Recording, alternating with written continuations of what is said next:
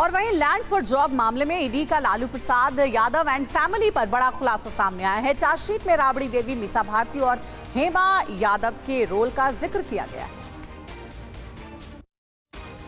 Land for job मामले में ED की चार्जशीट पर कल कोर्ट ने संज्ञान लिया, जिसमें पूर्व मुख्यमंत्री राबड़ी पर ईडी ने लालू यादव के साथ इस घोटाला में शामिल होने का आरोप लगाया है।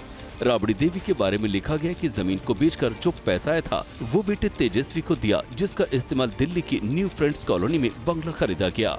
ये वही घर है जिसे अमित कात्याल से खरीदा गया था। मीसा भारती पर भी पिता लालू प्रसाद यादव के साथ मिलकर घोटाले का आरोप लगाया गया है।